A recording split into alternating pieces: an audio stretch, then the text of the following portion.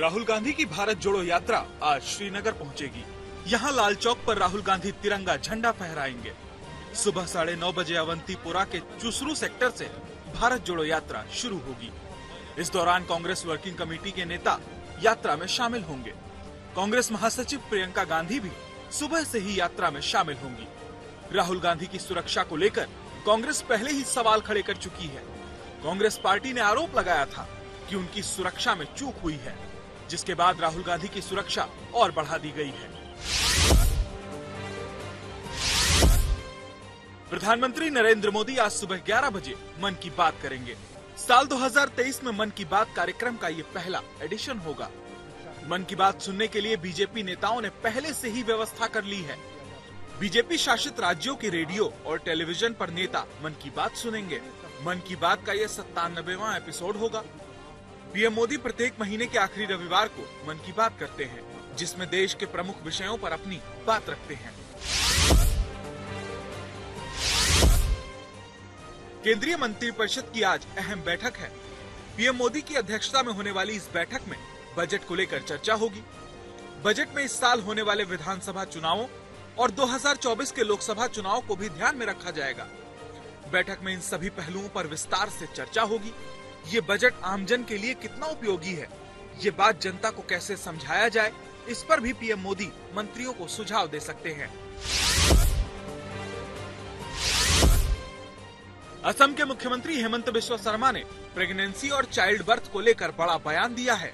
उन्होंने कहा है कि महिलाओं को सही समय पर माँ बन जाना चाहिए, वरना उन्हें शारीरिक परेशानियाँ हो सकती हैं।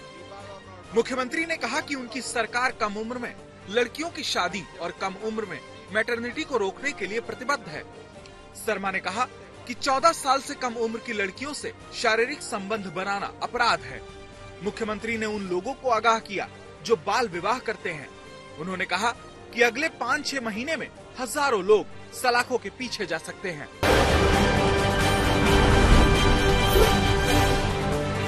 मध्य प्रदेश में भारतीय वायुसेना की दो फाइटर जेट सुखोई 30 और मिराज 2000 दुर्घटनाग्रस्त हो गए, जिसमें पायलट की मौके पर ही मौत हो गई। रक्षा मंत्रालय के सूत्रों के मुताबिक, ये हादसा हवा में दोनों लड़ाकू विमानों के बीच टक्कर की वजह से हुआ। हादसे को लेकर वरिष्ठ अधिकारियों ने बताया कि शुरुआती तौर पर यह पता चला है कि दोनों फाइटर जेट ने ग्वालियर एयरबेस से उड़ान भरी थी। सुखोई के पायलट दुर्घटना से करीब 120 किलोमीटर पहले विमान से बाहर निकल गए थे। पायलट के इजेक्ट कर जाने के बाद विमान नीचे आने तक हवा में उड़ता रहा और फिर मुरैना में दुर्घटनाग्रस्त हो गया।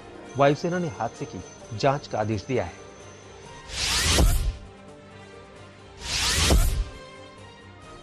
राष्ट्रपति भवन के मुगल गार्डन का नाम बदल दिया गया है। अब इसे अमृत उद्यान के नाम से जाना जाएगा। राष्ट्रपति की उप प्रेस सचिव नविका गुप्ता ने बताया कि स्वतंत्रता के अमृत महोत्सव के मौके पर भारत के राष्ट्रपति ने राष्ट्रपति भवन के उद्यानों को अमृत उद्यान के रूप में एक सामान्य नाम दिया है।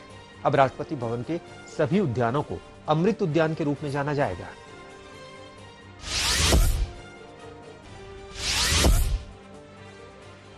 केरल के राज्यपाल आरिफ मोहम्मद खान ने शनिवार को तिरुवनंतपुरम में हिंदू कॉन्क्लेव में भाग लिया। इस दौरान उन्होंने कहा कि वो आभारी हैं कि उनके योगदान का सम्मान हो रहा है। लेकिन मेरी शिकायत है कि आप मुझे हिंदू क्यों नहीं कहते? आरिफ मोहम्मद ने कहा कि मुझे नहीं लगता कि हिंदू एक धार्मिक शब्द है, बल्कि ये एक भौगोलिक शब्द है। उन्होंने कहा कि कोई भी जो भारत में पैदा हुआ है, कोई भी जो भारत में पैदा अन्न खाता है, कोई भी जो भारत की नदियों से पानी पीता है, वो खुद को हिंदू कहने का हकदार है। उन्होंने कहा कि आपको मुझे हिंदू कहना चाहिए।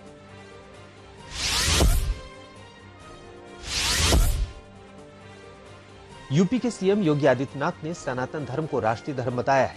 योगी ने राजस्थान के जालौर में यह बयान दिया। लेकिन उनके इस बयान के बाद सियासी भूचाल मच गया। कांग्रेस के नेता उदित राज ने सनातन धर्म पर बिना टिप्पणी करते हुए पूछा दूसरे धर्म का क्या? वहीं अखिलेश यादव ने कहा कि बीजेपी धर्म की ठेकेदार नहीं हो सकती। जबकि आरजेडी सांसद मनोज झा ने करारा प्रहार करते हुए पूछा कि क्या सीएम योगी पूरे देश को जलाने की कोशिश कर रहे हैं?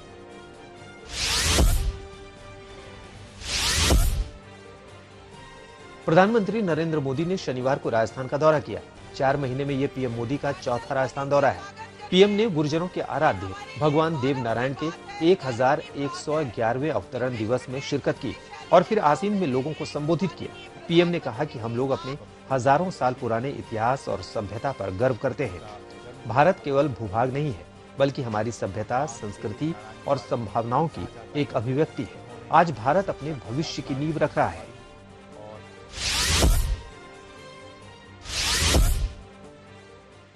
गुर्जर समाज की जो नई पीढ़ी है, जो युवा है, वो भगवान देव नारायण के संदेशों को, उनकी शिक्षाओं को और मजबूती से आगे बढ़ाएँ। ये गुर्जर समाज को भी सशक्त करेगा और देश को भी आगे बढ़ाने में इससे मदद मिलेगी। साथियों 21वीं सदी का ये कालखंड भारत के विकास के लिए, राजस्थान के विकास के लिए बहुत अहम है।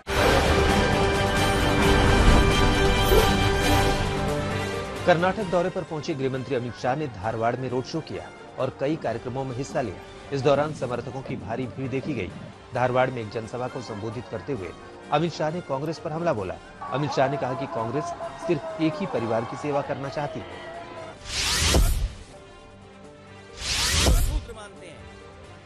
समाजवादी पार्टी के अध्यक्ष अखिलेश यादव ने बीजेपी पर बड़ा हमला बोला। अखिलेश यादव ने कहा कि बीजेपी के लोग हमको शूद्र मानते हैं। हम उनकी नज़र में शूद्र से ज़्यादा कुछ भी नहीं है। अखिलेश यादव ने कहा कि बीजेपी को यह तकलीफ़ है कि हम संत महात्माओं से आशीर्वाद लेने क्यों जा रहे हैं। दरअसल अखिलेश यादव लखनऊ में गोमती नदी के किनारे माँ पीताम्बरा मंदिर में चल रहे माँ पीताम्बरा 108 महायज्ञ में शामिल होने पहुँचे थे। इस दौरान अखिलेश यादव का हिंदू महासभा, अखिल भारतीय विद्यार्थी परिषद के साथ ही हिंदू संगठनों के कार्यकर्ताओं ने विरोध किया और जमकर नारेबाजी की। साथ ही अखिलेश को काले झंडे भी दिखाए। अखिलेश यादव ने कहा कि बीजेपी ने यहाँ गुंडे भेजे थे। बीजेपी धर्म की ठेकेदार नहीं हो सकती। बीजेपी के लोग पिछड़ों को शूद्र, दलित को शूद्र मानते हैं। बीजेपी के लोग हम सबको शूद्र मानते हैं। उनको ये तकलीफ़ है कि हम उनके धार्मिक स्थान पे क्यों जा रहे हैं गुरु संत लोगों से आशीर्वाद लेने के लिए।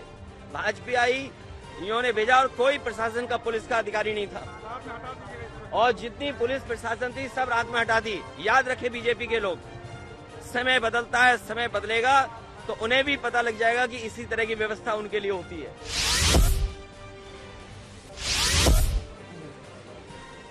बीजेपी ने शनिवार को त्रिपुरा विधानसभा चुनाव के लिए 48 उम्मीदवारों की पहली सूची जारी कर दी। इस सूची के अनुसार मुख्यमंत्री माणिक साहा को टाउन बोरदवली से उम्मीदवार बनाया गया है।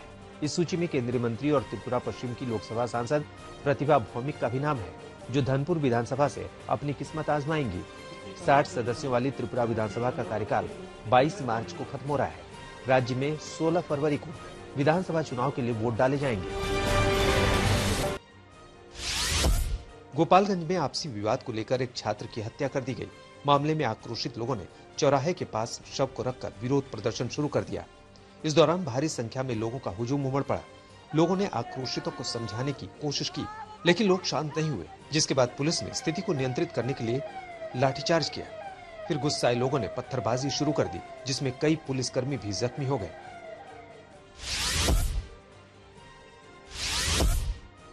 ग्रेटर नोएडा में एक 55 साल के अधेड़ व्यक्ति ने नशे की हालत में मासूम भाई बहन के साथ डिजिटल रेप किया।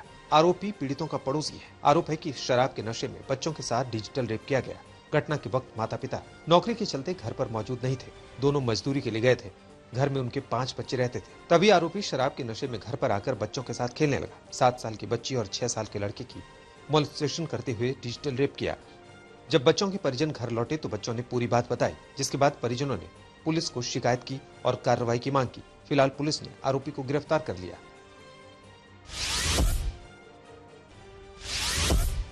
यूपी के शाहजहांपुर में युवक का अपहरण कर उसकी हत्या करने का मामला सामने आया है। आरोपियों ने शव को बरेली के रेलवे ट्रैक पर फेंक दिया था, जिसके बाद मामले में पुलिस ने सनसनीखेज खुलासा किया है। इस मामले में पुलिस ने युवक की पत्नी और भाभी समेत छह आरोपियों को गिरफ़्तार किया है। पुलिस को आरोपियों ने बताया कि मृतक युवक की पत्नी ने तांत्रिक को दो लाख की सुपारी देकर उसकी हत्या करवाई थी। क्योंकि पत्नी अपने पति की शराब की लत को छुड़वाना चाहती थी, फ़िलहाल पुलिस ने छह आरोपियों को जेल भेज दिया है।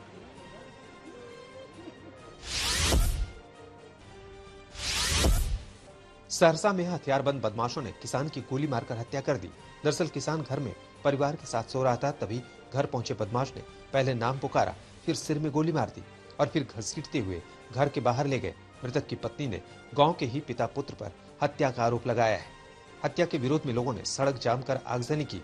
पुलिस ने गुस्साए लोगों को समझाने की कोशिश की। फ़िलहाल आरोपी फरार है। पुलिस आरोपियों की तलाश में जुटी है।